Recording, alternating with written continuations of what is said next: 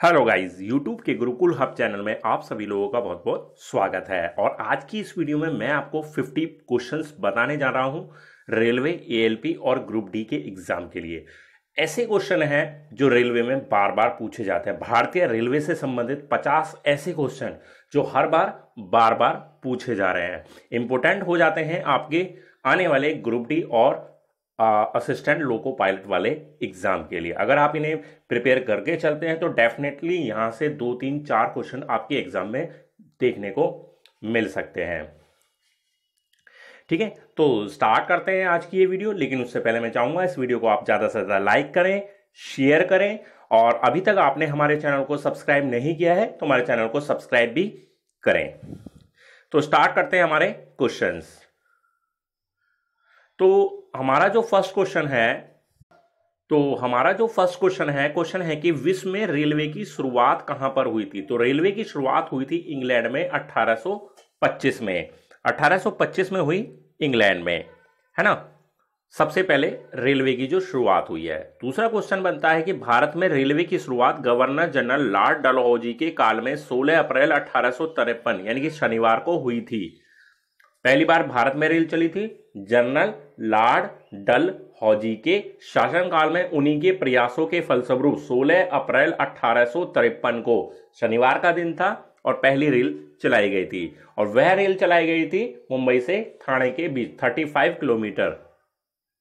35 kilometre Mumbai से थाने के बीच में। ठीक है, फिर आता है प्रथम रेल इंजन का नाम क्या था? प्रथम जो पहला रेल इंजन था, उसका नाम रखा गया था ब्यूटी। क्या नाम रखा गया था? ब्यूटी। पहली जो ट्रेन थी, पहली ट्रेन में कुल 400 यात्री थे और जो चार पहिए वाले 14 डिब्बे में सवार थे, है ना? एक डिब्बे में चार चार पहिए हुआ करते थे उस टाइम में और 14 डिब्बे थे और टोटल 400 यात्रियों ने इस ट्रेन में सफ़र किया था। प्रारंभिक चरण में रेलवे निजी क्षेत्र के द्वारा चलाई गई, क्योंकि ब्रिटिश भारत सरकार के पास फंड का अभाव था। तो एक रेलवे जो चलाई गई थी, वो निजी, यानी कि प्राइवेट क्षेत्र के रूप से चलाई गई थी, और ब्रिटिश सरकार के पास इतना पैसा नहीं था कि वह उसको अफोर्ड कर सकता था। रेलवे में गारंटी पद्धति, रेलवे में गारंटी पद्धति की शुरुआत हुई अठारह वो गारंटी ये थी कि जो भी आपकी जर्नी होगी, वो सेफ़ रहेगी, इस बात की भारतीय रेल पूरी तरह से गारंटी देता था। वर्तमान में लोकल इलेक्ट्रिक ट्रेनें मुंबई, कोलकाता तथा चेन्नई में चलाई गई थी, जो पहली electric train, local Mumbai, Kolkata और चेन्नई में चलाई गई थी। रेलवे का राष्ट्रीयकरण हुआ 1950 में। 1950 में रेलवे को पूरी तरह से भारतीय रेल या राष्ट्रीयकरण कह सकते हैं, किया गया था। रेलवे बोर्ड की स्थापना मार्च 1905 में हुई थी लॉर्ड कर्जन के काल में। ठीक है, रेलवे के लिए एक बोर्ड की स्थापना की गई थी, वो की गई मार्च 1905 में। उस समय जो गवर्नर जनरल थे, वो थे लॉर्ड कर्जन। भारत में प्रथम डीजल इंजन उन्नीस में चलाया गया था। पहला डीजल इंजन, उन्नीस सौ सत्तावन। उससे पहले जो चलाई जा रही थी ट्रेन, वो चलाई जा रही थी कैसे? कोयले वाली, जो भाप के इंजन से चलती थी। क्लियर है? तो गाइस और ये क्वेश्चन तो का सिलसिला तो जारी है, और मैं जानकारी और देना चाहता हूँ कि अगर आपको इन सभी क्वेश्चंस की पीडीएफ लेनी है ये सभी क्वेश्चन पीडीएफ पचास क्वेश्चन और रेलवे के अभी तक के पूछे गए क्वेश्चन हैं। करीब हमने उसमें सेट बना रखे हैं, गुरुकुल फ़र्स्ट गुरुकुल सेकंड और सोलह सेट हैं और सोलह के सोलह सेटों में जो क्वेश्चन हमने प्रोवाइड किए हैं, ठीक है, वो सब आप फ्री ऑफ़ कॉस्ट आप ले सकते हैं इसी वीडियो के डिस्क्रिप्शन में। इसी वीडियो के डिस्क्रिप्शन में आपको एक लिंक मिल जाएगा, है ना? उस लिंक पर क्लिक करके वहाँ से आप वो पीडीएफ डाउनलोड कर सकते हैं। बिल्कुल फ्री ऑफ़ कॉस्ट है, कोई चार्ज नहीं है। और वहाँ पर आपको ये पचास क्वेश्चन तो मिलेंगे। साथ ही भारतीय रेलवे रेलवे भर्ती बोर्ड के एग्ज़ाम में जो भी क्वेश्चन पूछे गए हैं, उन्हें हमने सोलह सेटों के हिसाब से डिवाइड कर रखा है। और वहाँ पर वो आपको अवेलेबल है तो आप उन्हें डाउनलोड कर लीजिए। ठीक है? नेक्स्ट क्वेश्चन है कि भारत वर्तमान में डीजल इंजन वाराणसी में बनाए जाते हैं। बिल्कुल। और फिर है, प्रथम इलेक्ट्रिक ट्रेन का नाम डक्कन क्वीन था। यह पूना से मुंबई वीटी तक चलाई गई थी। पहली इलेक्ट्रिक ट्रेन, बिजली से चलने वाली ट्रेन चलाई गई थी, डक्कन क्वीन, और पूना से बंबई वीटी तक चलाई गई थी। पूरे विश्व में भारत अकेला ऐसा देश है जहाँ अलग अलग चौड़ाई की रेलवे पटरियाँ हैं। बिल्कुल अलग अलग अलग अलग गेज के हिसाब से, गेज के हिसाब से पटरियाँ हैं, ठीक है? वो केवल भारत में ही ऐसा है। भारत का सबसे बड़ा मार्शलिंग यार्ड। मार्शलिंग यार्ड वो है मुगल सराय यानी कि उत्तर प्रदेश में। फिर कि भारत का सबसे बड़ा रेलवे चौराहा। रेलवे चौराहा चारों तरफ़ के लिए आपको ट्रेन मिलेगी, वो है इटारसी, मध्य प्रदेश। मध्य प्रदेश। क्लियर? भारत का सबसे बड़ा रेलवे स्टेशन वो है खड़गपुर खड़गपुर, पश्चिम बंगाल। और रेलवे स्टेशन की बात है, रेलवे प्लेटफॉर्म। जो अब हो गया है, वो हो गया है गोरखपुर। गोरखपुर। तो अब खड़गपुर नहीं, अब आप गोरखपुर पढ़कर चलेंगे। क्लियर भारत का सबसे बड़ा रेल नदी पुल। भारत का सबसे बड़ा रेल नदी पुल है नेहरू सेतु पुल। सोन नदी पर है Dehri on Son. Dehri on सोन। नाम है सोन नदी पर। नेहरू सेतु पुल है सोन नदी पर, डिहरी ऑन सोन। मतलब डिहरी और सोन नदी। ठीक है? बिहार में। भारत में सबसे ऊंचाई पर रेलवे स्टेशन, झूम। सबसे ऊंचाई पर रेलवे स्टेशन वह है झूम, जो कि दार्जिलिंग, वेस्ट बंगाल में है। फिर आता है कि भारत में प्रथम रेल बस सेवा, रेल बस सेवा, वो है मेड़तापुर, राजस्थान 12 अक्टूबर उन्नीस इसकी गति 80 किलोमीटर प्रति घंटा थी। इसमें ड्राइवर सहित कुल इकहत्तर यात्री थे, जिसमें 15 यात्री खड़े थे। तो पहली ट्रेन जो रेल बस सेवा चलाई गई थी, ट्रेन। ट्रेन के ही रूप में रेल बस सेवा थी। 12 अक्टूबर उन्नीस सौ चौरानवे में और गति 80 किलोमीटर प्रति घंटा। आज़ाद भारत के पहले रेल मंत्री रेल मंत्री हुए थे आसफ अली। इंपोर्टेंट क्वेश्चन है। पहले रेल मंत्री आज़ाद भारत के तो वो थे आसफ अली। चलते हैं नेक्स्ट क्वेश्चन पर। नेक्स्ट क्वेश्चन बनता है कि भारत में रेलवे की प्रथम महिला चालक, मुमताज़। कहाँ से काथवाला से। मुमताज़ काथवाला फिर मेघालय। लक्षद्वीप, सिक्किम, अंडमान निकोबार दमनदीप और नागर हवेली में रेलवे लाइन नहीं है। बिल्कुल अच्छा क्वेश्चन है। पूछा जाता है ऑप्शन बेस की, इनमें से कौन सा ऐसा राज्य है जहाँ पर रेल सेवा नहीं है? तो मेघालय, सिक्किम, आपने पढ़ा होगा, पहले से जानते होंगे। लक्षद्वीप अंडमान निकोबार द्वीप समूह दमन द्वीप और नागर हवेली, ये केंद्र शासित प्रदेश भी इसके अंतर्गत आते हैं जहाँ पर रेलवे लाइन नहीं है।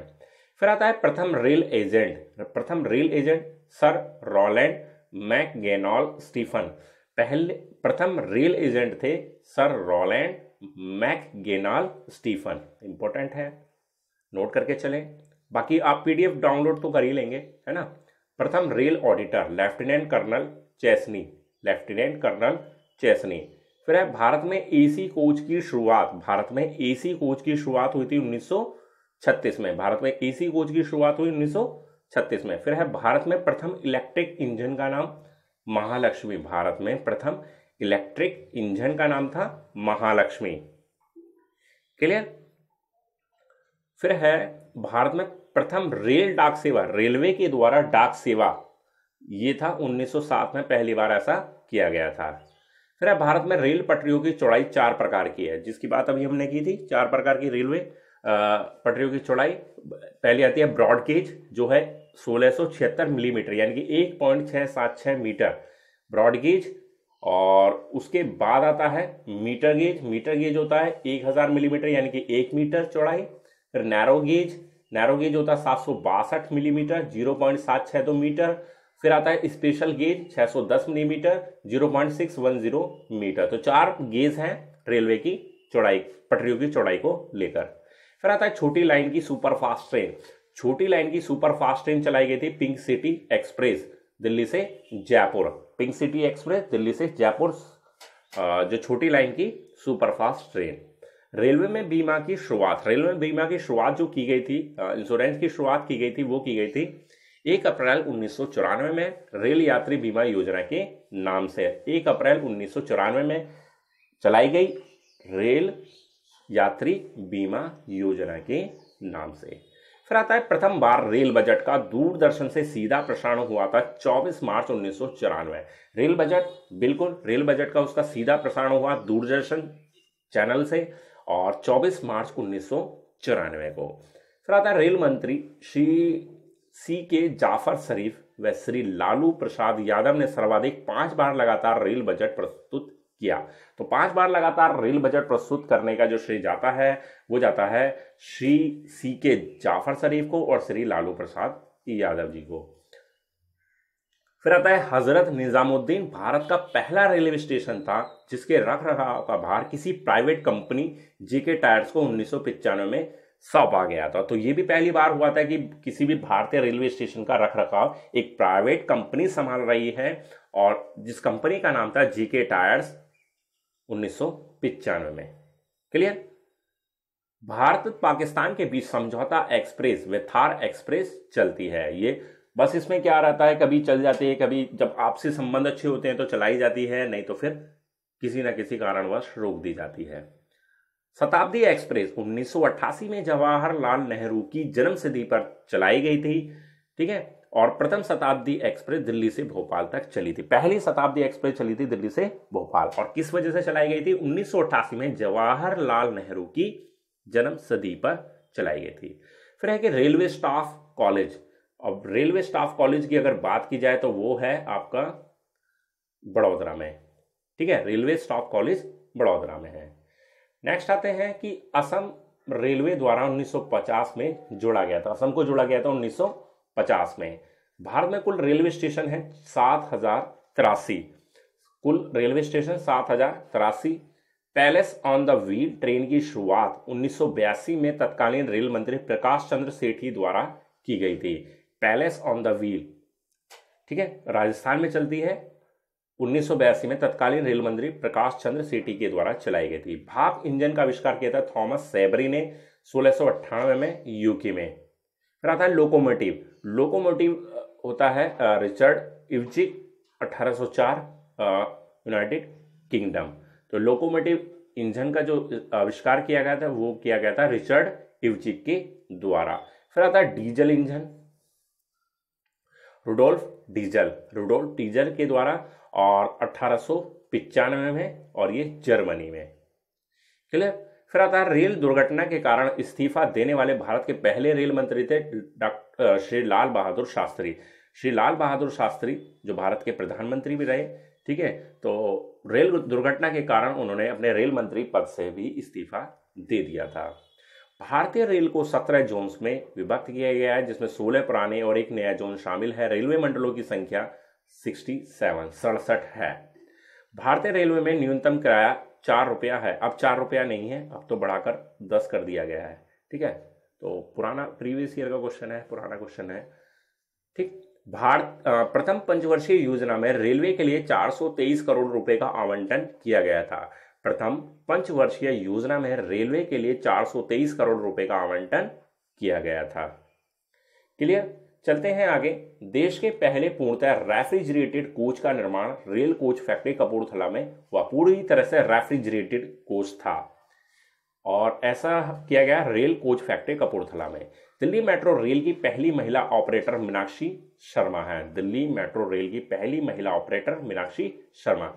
भारतीय रेलवे बोर्ड की पहली महिला सदस्य बनने का सौभाग्य विजय लक्ष्मी विश्वनाथन को प्राप्त हुआ था, जो भारतीय रेलवे बोर्ड है, उसकी पहली महिला सदस्य है विजय लक्ष्मी विश्वनाथन।